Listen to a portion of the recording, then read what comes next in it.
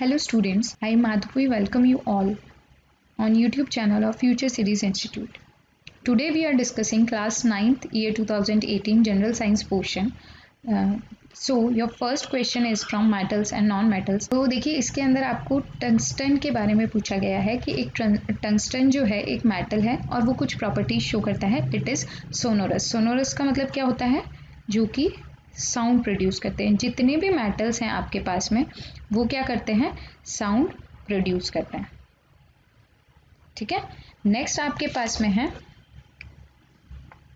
Tensile strength ठीक है? जो टंगस्टन है, उसकी जो टेंसाइल स्ट्रेंथ होती है, वो काफ़ी ज़्यादा हाई होती है। अब टेंसाइल स्ट्रेंथ होता क्या है?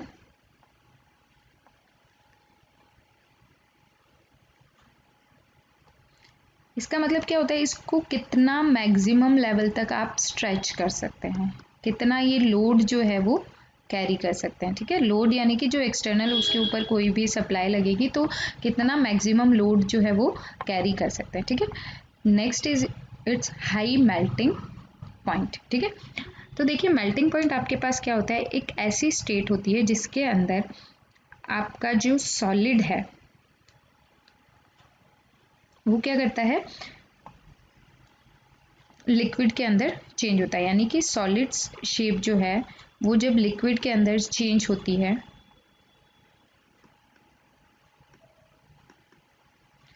तो उस टेम्परेचर को क्या बोला जाता है? मेल्टिंग पॉइंट बोला जाता है। And last one is it has high density अब आपसे क्वेश्चन क्या पूछा गया है? मेन क्वेश्चन आपसे ये पूछा गया है कि इनमें से कौन सी प्रॉपर्टी टंगस्टन को सूटेबल मटेरियल बनाती है इलेक्ट्रिक बल्ब के फिलामेंट को बनाने के लिए? ठीक है? तो देखिए जो आ, आपका इलेक्ट्रिक बल्ब होता है उसके लिए एक स्पेसिफिक क्वालिटी क्या चाहिए कि जो उसका मेल्टिंग पॉइंट है वो ज़्यादा हाई होना चाहिए। ठीक है? जो सॉलिड स्टेट से बहुत ज़्यादा टेम्परेचर अगर मिले उसको तो वो दूसरी स्टेट के अंदर चेंज हो, ठीक है? और जो टंगस्टन है, इसकी जो मेल्टिंग पॉइंट होता है, वो हाईएस्ट होता है सब मेटल के कंपैरिजन में, ठीक है? नेक्स्ट क्वेश्चन आपसे पूछा गया है hepatitis B is caused due to तो देखिए हेपेटाइटिस बी जो है, वो वायरस से होता है। आपके पास में। ये सारे के सारे माइक्रो ऑर्गेनिज्म है, ये काफ़ी सारी डिज़ीज़ करते हैं और हेपेटाइटिस बी जो है, वो हमारे लीवर को अफेक्ट करता है और इतना ज़्यादा फैटल होता है कि इसका अगर प्रॉपर टाइम पे मेडिके इलाज नहीं करवाया जाए ट्रीटमेंट नहीं लिया जाए तो फैटल भी होता है ये। ठीक है नेक्स्ट है the production of an exact copy of animal by a sexual reproduction is known as तो देखिए रिप्रोडक्शन के बारे में थोड़ी सी बात करते हैं। असेक्सुअल रिप्रोडक्शन ऐसा रिप्रोडक्शन होता है, जिसके अंदर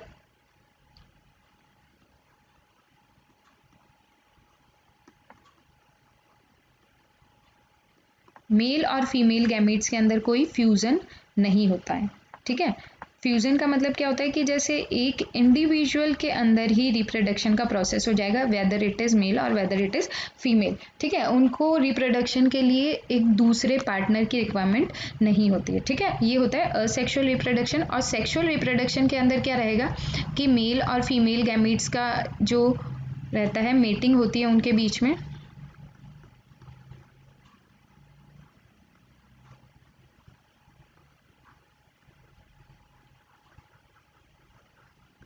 और उसके बाद रिप्रोडक्शन होता है, ठीक है? तो देखिए, इसमें ऑप्शन बी जो है मेटिंग ये हो ही नहीं सकता असेक्सुअल रिप्रोडक्शन में, क्योंकि असेक्सुअल रिप्रोडक्शन में कोई भी फ्यूजन नहीं होता मेल एंड फीमेल गैमेट्स का, ठीक है? उसके बाद में हैचिंग हैचिंग क्या होता है? जो एनिमल्स या जो ऑर्गेनिज्म एग ले करते हैं, उसके ऊपर जब वो बैठ के उसको हीट प्रोवाइड करवाते हैं, वो प्रोसेस हैचिंग कहलाता है, ठीक है? तो ये भी असेक्सुअल रिप्रोडक्शन का नहीं है इवन ये तो रिप्रोडक्शन का ही पार्ट नहीं है, ये आफ्टर एग फॉर्मेशन का प्रोसेस है, ठीक है? नेक्स्ट है आपके पास में क्लोनिंग एंड बडिंग तो देखिए, जो क्लोनिंग है, उसके अंदर क्या रहता है? आपके पास में एग्जैक्ट कॉपी प्रोड्यूस होती है किसी भी ऑर्गेनिज्म की, ठीक है? और बडिंग के अंदर क्या होता है? एक बर्ड के फॉर्म में एक, जैसे कली की फॉर्म में क्या रहेगा? एक ऑर्गेनिज्म बनना शुरू होगा, धीरे धीरे धीरे धीरे वो पूरा ऑर्गेनिज्म बन जाएगा, ठीक है? एग्ज़ाम्पल रहता है बर्डिंग का यीस्ट के अंदर जो है बर्डिंग का प्रोसेस होता है, और ये जो क्लोनिंग है तो इसका आंसर क्या हो जाएगा? एग्जैक्ट कॉपी वाला क्लोनिंग ठीक है? Next is a device which can be used to detect very small current following flowing in a circuit it's not following it's flowing थोड़ा सा एरर है flowing in an electric circuit ठीक है? देखिए क्या होता है कि एक इलेक्ट्रिक सर्किट है आपके पास में, उसके अंदर आपको चेक करना है कि इलेक्ट्रिसिटी या छोटा सा करंट फ्लो कर रहा है तो वो किस तरीके से चेक करोगे? तो उसके लिए देखिए, आपके पास में क्या है? M C B M C B is miniature circuit breaker और ये कहाँ लगती है? जो एक्सटर्नल आपके घरों में इलेक्ट्रिसिटी का मीटर रहता है, उसके बाद में इसको लगाया जाता है। ये क्या काम करता है? ये सर्किट ब्रेक करने का काम करता है, ठीक है? तो ये करंट को स्मॉल करंट को तो ये नहीं बता सकता।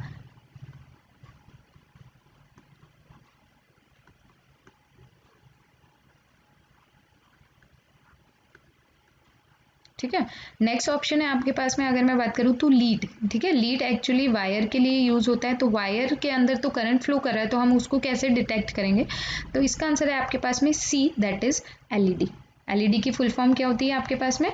LED is nothing but light emitting diode आपने छोटी छोटी लाइट्स देखी होंगी कलरफुल रेड ग्रीन येलो तो ये क्या करती हैं? आपके पास में ये छोटे स्मॉल करंट को अगर कहीं पे भी फ्लो हो रहा है तो उसको डिटेक्ट करने के लिए काम में आती है, ठीक है? जैसे ही आप सर्किट में लगाएँगे, अगर करंट फ्लो हो रहा होगा तो वो जो एलईडी लाइट्स हैं, वो क्या हो जाएँगी? ग्लो करने लगेंगे, ठीक है?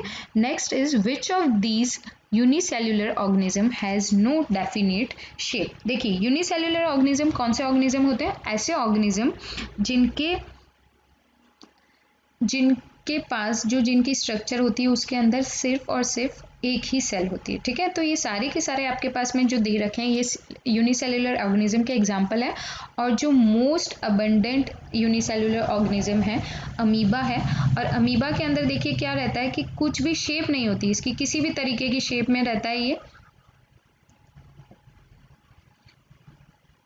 तो इसका आंसर हो जाएगा आपके पास A amoeba next is which is a thermosetting plastic ठीक है? पॉलीमर्स वाला जो पोर्शन है आपका, उसमें आपसे ये पूछा गया है कि जो इनमें से जो एग्ज़ाम्पल दे रखे हैं, इनमें से थर्मोसेटिंग प्लास्टिक कौन सा है? तो देखिए, सबसे पहले ये बात करते हैं कि थर्मोसेटिंग होते क्या हैं? कौन से प्लास्टिक होते हैं? तो देखिए, ये ऐसे प्लास्टिक होते हैं थर्मोसेटिंग प्लास्टिक्स जो अगर आप इनको हीट प्रोवाइड करेंगे, ठीक है? जब आप इनको हीट प्रोवाइड करेंगे तो ये क्या हो जाते हैं? काफ़ी रिजिड हो जाते हैं शेप के अंदर।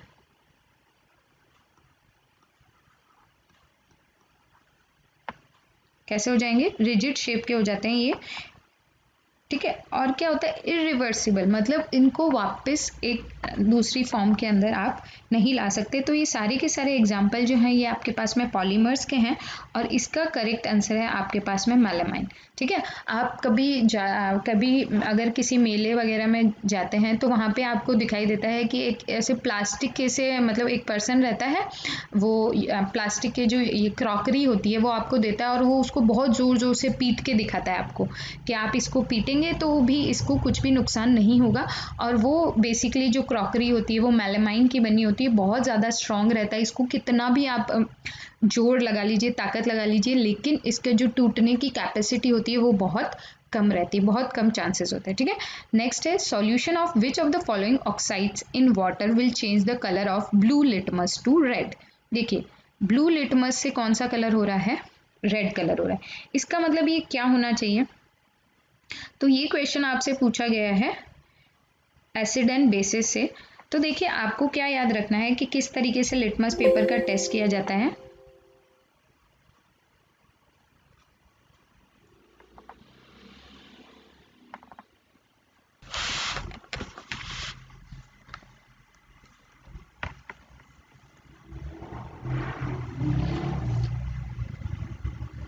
ठीक है, आपको बताना है कि कौन से ऑक्साइड जो है, वो वाटर का कलर चेंज कर देंगे ब्लू से रेड देखिए, जब जैसे ही आपके पास में लिटमस पेपर का कलर चेंज होता है तो आपको एक चीज़ याद रखनी है। एसिड को कनेक्ट कीजिए आप रेड से, इस तरीके से। और जो बेस है, उसको याद रखो। ब्लू से, ठीक है? तो देखिए ब्लू लिटमस रेड कलर में हो रहा है। जैसे ही रेड कलर का फॉर्मेशन हुआ, इसका मतलब जो ये ऑक्साइड है, वो क्या है? एसिडिक है नेचर में। इसीलिए इसका कलर रेड चेंज हो गया। और देखिए आयरन ऑक्साइड आपके पास में किसका है? मेटल का ऑक्साइड है। और हम लोग जानते हैं कि जो मेटल ऑक्साइड्स होते हैं, वो बेसिक होते हैं नेचर के अंदर। इसमें मैग्नीशियम ऑक्साइड फिर से मेटल ऑक्साइड है। कॉपर ऑक्साइड फिर से मेटल ऑक्साइड है। सल्फ़र डाइऑक्साइड जो है, आपके पास में नॉन मेटल ऑक्साइड है। और ये कैसा होता है? एसिडिक ठीक है? तो आपके पास में आंसर हो जाएगा इसका A that is sulphur dioxide ठीक है? अब नेक्स्ट क्वेश्चन है in India PCRA advises how to save petrol और diesel while driving for this PCRA gave several tips ठीक है? एक ऑर्गेनाइजेशन है पीसीआरए करके, वो क्या करता है? आपको एडवाइस देता है कि किस तरीके से आप ड्राइविंग के टाइम पेट्रोल और डीजल को सेव कर सकते हैं और आपसे पूछा गया है कि पीसीआरए की फुल फॉर्म क्या है, ठीक है? तो देखिए, इसके अंदर आप पॉल्यूशन कंट्रोल का ऑफ़िस रहता है बट वो कभी भी पेट्रोल और डीजल को सेव करने के लिए आपको एडवाइस नहीं करता, ठीक है? तो आपके पास में इन दोनों में से आ गया। तो देखिए, आपको क्या कर रहा है? सेव करने के लिए कुछ ना कुछ सजेस्ट कर रहा है। तो save is related with we can relate save the word save with conservation ठीक है? तो इसका आंसर हो जाएगा आपके पास में B that is petroleum conservation research association ठीक है? नेक्स्ट है आपके पास में एन इलेक्ट्रोलाइट इज़ ठीक है? एक इलेक्ट्रोलाइट बताना है आपको इलेक्ट्रोलाइट क्या होता है? बेसिकली इलेक्ट्रोलिसिस का प्रोसेस होता है, फिर से लास्ट थाउज़ेंड नाइनटीन के अंदर भी आपके पास में इलेक्ट्रोलाइसिस से क्वेश्चन पूछा गया था। इंपॉर्टेंट फिनोमिना है, एक पेज मतलब एक आधे घंटे का मैक्सिमम टॉपिक है आपके पास में। आप इसको रीड कीजिए, आप डेफिनेटली क्वेश्चन आपको मिलेगा इसमें से, ठीक है? तो आपसे पूछा गया इलेक्ट्रोलाइट क्या होता है? तो इलेक्ट्रोलिसिस का जो प्रोसेस है, उसके अंदर क्या किया जाता है? दो रॉड्स इंसर्ट की जाती है, जिनको इलेक्ट्रॉड्स बोलते हैं, और एक लिक्विड सॉल्यूशन लिया जाता है, जिसको बोला जाता है आपके पास में इलेक्ट्रोलाइट ठीक है? और इस लिक्विड का काम क्या होता है? जो ये यहाँ पे इलेक्ट्रिसिटी को जब पास कराते हैं वाया इलेक्ट्रोड्स तो ये क्या करता है? यहाँ से करंट को फ्लो होने देता है, ठीक है?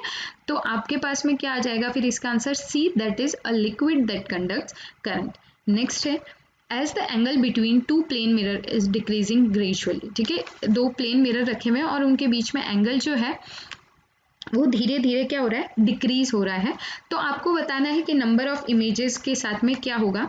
तो देखिए नंबर ऑफ़ इमेज कैलकुलेट करने का आपके पास में फॉर्मूला रहता है, जहाँ पे आपके पास में रहेगा n is equals to three sixty upon theta theta यानी कि जो भी एंगल की वैल्यू गिवन रहेगी। ठीक है? आपके पास में अगर ये चाहे वो मिरर जो है वो सिमेट्रिकल रखे हुए हैं, चाहे असिमेट्रिकल रखे हुए हैं, अगर three three sixty upon theta minus one ठीक है? अगर आपके पास में थ्री सिक्सटी अपॉन थीटा ये कोई इवन नंबर है, ठीक है? इवन नंबर है अगर आपके पास में तो नंबर ऑफ़ इमेजेस का फॉर्मूला आपके पास में क्या रह जाएगा? सेम रहेगा। और अगर कोई ऑड नंबर है ठीक है? अगर कोई ऑड नंबर है और जो आपके मिरर्स हैं वो असिमेट्रिक रखे हुए हैं, यानी कि उनकी कोई स्पेसिफिक शेप नहीं है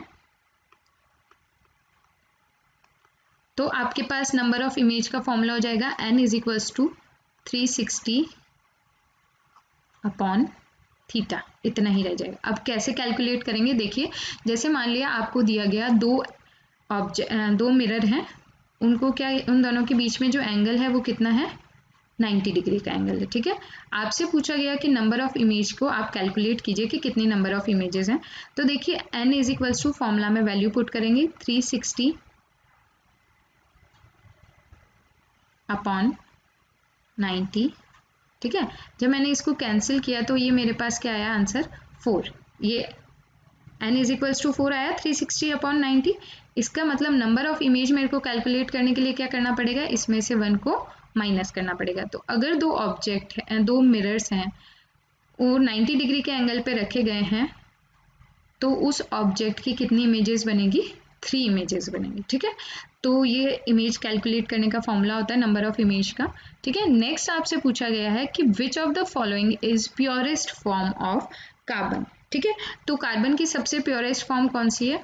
तो that is nothing but your coke ठीक है? कोक है जो कार्बन की सबसे प्योर फॉर्म है। Next direct numerical base direct question है वन लाइट ईयर की एसआई यूनिट क्या है? ठीक है? One light year light year क्या होता है? डिस्टेंस मेजर करता है सेलेस्टियल बॉडीज़ का, जो बहुत ज़्यादा दूर ऑब्जेक्ट्स रहती हैं, उनका डिस्टेंस मेजर करता है और उसकी वैल्यू आपके पास में nine point four six into ten to the power fifteen ठीक है? ये आपको याद रखना पड़ेगा।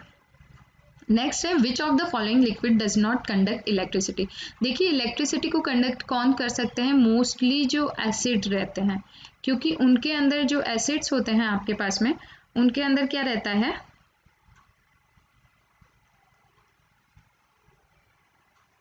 फ्री आयंस रहते हैं, ठीक है? इट्स एसिड तो देखिए लेमन जूस है, ये आपके पास में करेगा, ठीक है? सुगर इसने पूछा है डज नॉट कंडक्ट ठीक है? कि इलेक्ट्रिसिटी को कौन कंडक्ट नहीं करेगा? सुगर सॉल्यूशन ये भी करेगा। डिस्टिल वाटर ये नहीं करेगा, क्योंकि डिस्टिल वाटर जो होता है, उसके अंदर कोई भी पार्टिकल्स नहीं होते हैं, ठीक है? नेक्स्ट है, आपके पास में डाइल्यूट हाइड्रोक्लोरिक एसिड यस ये भी डेफिनेटली करेगा, ठीक है? तो आपके पास में करेक्ट ऑप्शन कौन सा हो गया? B that is only third ठीक है? इसका आंसर है आपके पास में नेक्स्ट क्वेश्चन आपसे पूछा गया है। आपको दो एलिमेंट्स दिए गए हैं। First is your fungi and second is your bacteria अब आपको इनके बारे में कुछ स्टेटमेंट दिए गए हैं और आपको बताना है कि इनमें से कौन सा करेक्ट है। तो देखिए, आपके पास में सेकंड यानी कि bacteria are small prokaryotes while first that is fungi are the large celled you eukaryotes with defined mitochondria and other organelles यही स्टेटमेंट करेक्ट है। लेकिन फिर भी हम लोग एक बार सारे स्टेटमेंट को देख लेते हैं। ऑल ऑफ़ द अबव भी हो सकता है। देखिए सेकेंड यानी कि bacteria have sexual reproduction through conjunction conjugation and transformation but fungi है थ्रू जेनेटिक रिकॉम्बिनेशन नहीं, ये गलत है। Second is your all bacteria have sexual reproduction through conjugation and transformation, but same he option दे रखा है। ठीक है? तो आपके पास में आंसर कौन सा हो जाएगा इसके पास में? ए दैट इज़ जो बैक्टीरियाज होते हैं, वो स्मॉल प्रोकैरियोट्स होते हैं और जो फंगाई होते हैं, वो यूकैरियोट्स होते हैं। ठीक है?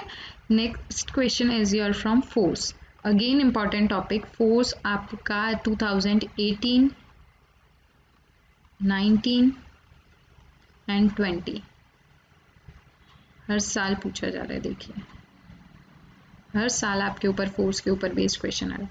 When the applied force is doubled and object is still at rest ठीक है? तो फ्रिक्शनल देखिए फोर्स जो है आप अप्लाई कर रहे हैं, उसको आपने डबल कर दिया है और आपसे पूछा गया है, लेकिन बॉडी जो है वो अभी भी रेस्ट में है तो फ्रिक्शन के ऊपर क्या इफ़ेक्ट होगा? तो देखिए फ्रिक्शन जो है वो आपके पास में एक्ट करता है इक्वल वे में। जितना आप फोर्स लगा रहे हैं, उसी बेसिस पे आपके पास में फ्रिक्शनल फोर्स लगता है। और इसके लिए इसका आंसर हो जाएगा आपके पास में। अगर आपने फोर्स को डबल किया है तो आपके पास में जो फ्रिक्शन है, वो भी क्या हो जाएगा?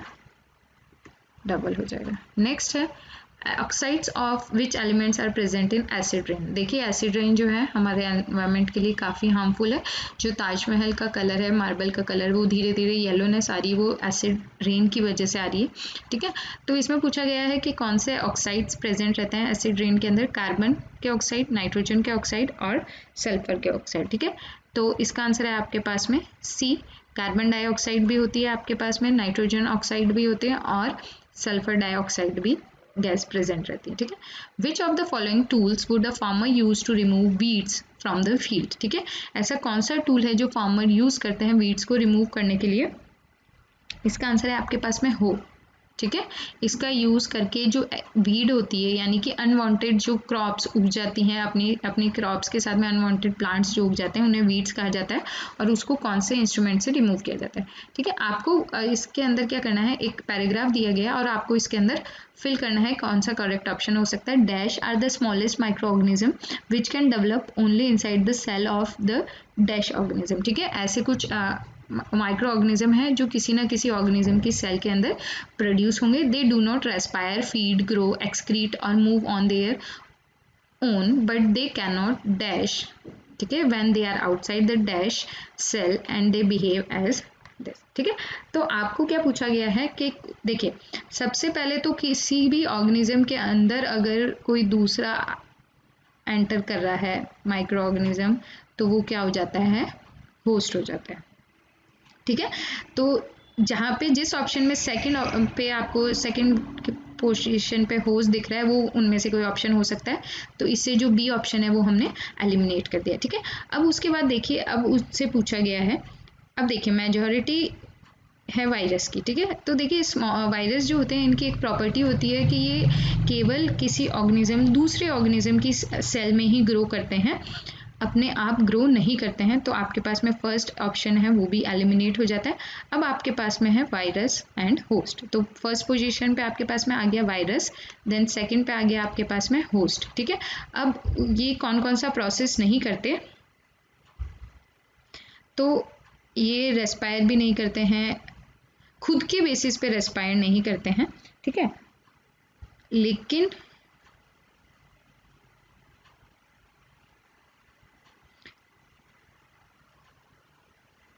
सॉरी ये सारे के सारे खुद के बेसिस पे मूवमेंट तो कर सकते हैं, लेकिन रिप्रोडक्शन नहीं कर सकते खुद के बेसिस पे, ठीक है? तो थर्ड में आ जाएगा आपके पास में C that is reproduce when they are outside the और जब वो लिविंग सेल के बाहर होते हैं तो वो एक नॉन लिविंग बींग की तरह बिहेव करते हैं। तो डी ऑप्शन जो है इसका करेक्ट आंसर हो जाएगा।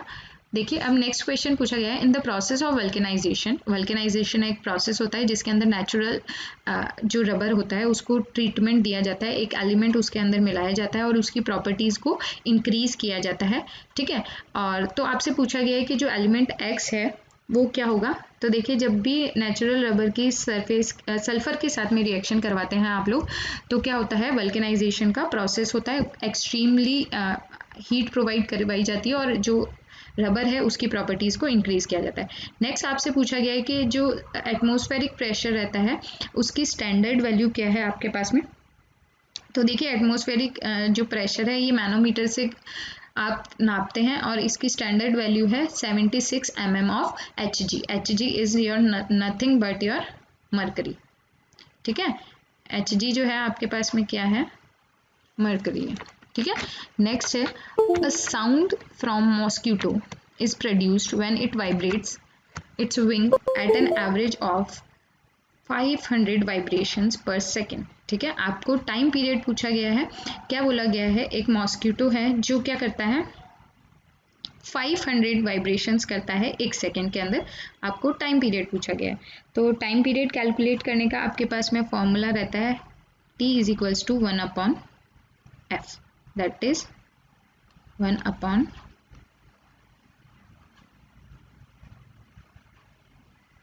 five hundred ठीक है? जब आप इसको सॉल्व करेंगे तो आपके पास आंसर आ जाएगा point zero zero two second ठीक है? तो टाइम पीरियड को कैलकुलेट करने का ये फॉर्मूला रहता है point zero zero two second आपके पास इसका आंसर आ जाएगा। The change in focal length of an eye lens to focus the image of object at varying distance is done by the action of, ठीक है? अब आपको क्या दिया गया है? आई के पार्ट दिए गए हैं और आपसे पूछा गया है कि जो फोकल लेंथ के अंदर चेंज करती है आई लेंस और इमेज को, किसी भी इमेज को फोकस करने के लिए तो वो किसका काम है? तो देखिए डायरेक्ट क्वेश्चन है। इसका आंसर है आपके पास में। सिलियरी मसल्स ठीक है? जो सिलियरी मसल्स हैं, आपको हेल्प करती हैं। किसी भी ऑब्जेक्ट की फोकस को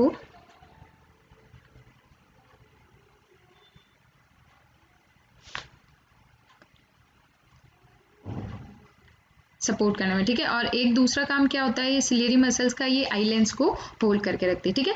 Which cell organelle is called as the power house of cell ठीक है? डायरेक्ट क्वेश्चन है, इसका आंसर है आपके पास में सी माइटोकॉन्ड्रिया और जो बाकी के ऑर्गेनिज्म हैं, इनको भी डिफरेंट डिफरेंट नाम से जानते हैं। तो देखिए लाइजोजोम्स जो हैं, इसको आपको आपकी सेल का सुसाइडल बैग बोलते हैं। कौन सा बैग जो सुसाइड कर सकता है, ठीक है? सुसाइडल बैग है, जो गॉल्जी बॉडीज हैं, इसको पोस्टमैन बोला जाता है। पोस्टमैन क्या करता है? मैसेजेस को एक जगह से दूसरी जगह पे भेजता है तो जो सेल का पोस्टमैन है, वो कौन होता है आपके पास में? गॉल्जी बॉडीज ठीक है? नेक्स्ट है आपके पास में राइबोजोम्स तो राइबोजोम्स का काम क्या रहता है? जो प्रोटीन सिंथेसिस का काम है सेल के अंदर, वो करते हैं आपके पास में राइबोसोम्स ठीक है? The dramatic change in body features associated with puberty ठीक है, जो बॉडी फीचर्स के अंदर चेंजेस आते हैं प्यूबर्टी के टाइम वो किसकी वजह से होते हैं? तो देखिए, जो सेक्स हॉर्मोन्स होते हैं, वो जब सिक्रीट होने स्टार्ट होते हैं तो आपके जो बॉडी के अंदर चेंजेस आते हैं, जैसे फेशियल हेयर ग्रोथ करते हैं प्यूबिक हेयर जो ग्रोथ करते हैं, आपकी आवाज़ के अंदर चेंजेस आते हैं, ठीक है सेकेंडरी सेक्शुअल ऑर्गेनिज्म जो ऑर्गन्स जो हैं, वो डेवलप होने लगते हैं। तो देखिए, इसके अंदर आपके पास में थायरोक्सिन और इस्ट्रोजन एड्रेनालिन एंड टेस्टोस्टेरोन ठीक है? तो देखिए, जो थायरोक्सिन है, ये क्या करता है? ये थायराइड ग्लैंड प्रोवाइड करवाती है तो ये सेक्स हार्मोन नहीं है। ईस्ट्रोजन सेक्स हार्मोन है एड्रीनलिन फिर से सेक्स हार्मोन नहीं है, और टेस्टोस्टेरोन है सेक्स हार्मोन ठीक है? तो इसका आंसर हो जाएगा, जिसमें आपका सेकेंड और फोर्थ है दैट इज़ डी ठीक है? Last question earth rotates around its axis ठीक है? सन अर्थ जो है, अपनी एक्सिस पे मूव करती है। अर्थ का जो मूवमेंट है, वो कौन सी डायरेक्शन में होता है? वेस्ट से ईस्ट में। ठीक है? और the sun appears to rise in the east ठीक है? तो उसमें क्या पता चलता है कि जो सन है, वो कहाँ से राइज हो रहा है? ईस्ट से राइज हो रहा है, यानी कि जो सेट होगा सनसेट वो किसके अंदर होगा? वेस्ट के अंदर। ठीक है? Venus rotates in the opposite direction of earth जैसे अर्थ जो है, वो वेस्ट से ईस्ट में रोटेशन कर रही है तो जो वीनस है, वो कहाँ से कहाँ रोटेट कर रहा है? ईस्ट से वेस्ट में रोटेट कर रहा है, ठीक है? तो हम क्या अज्यूम कर सकते हैं कि जो वीनस के अंदर सनसेट हो रहा है, वो कौन सी डायरेक्शन में हो रहा है? तो देखो, जो अर्थ के अंदर सनसेट होता है वेस्ट में तो वीनस के अंदर कैसा होगा? अपोजिट डायरेक्शन में, यानी कि इन द ईस्ट डायरेक्शन ठीक है? That's all for year 2018 thank you उम्मीद करती हूँ आपकी तैयारी अच्छी चल रही होगी। ऑल द बेस्ट वीडियोस देखते रहिए। हमारे चैनल को सब्सक्राइब कीजिए। Thank you